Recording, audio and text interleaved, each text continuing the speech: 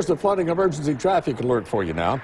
Uh, and this is good news. As water levels on the Pearl River began to fall, MDOT crews are starting to reopen roadways. They've reopened the outside lanes of I-55 at Daniel Lake and closure equipment, though, still on the side of the road until this threat is over, just in case they have to close it again. But additionally, the State Street from I-20 exit 45 in Jackson has reopened.